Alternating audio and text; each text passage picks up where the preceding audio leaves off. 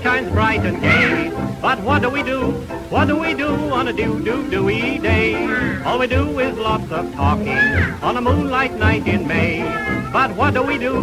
What do we do on a dew-dew-dewy day? Do we love? Do we play?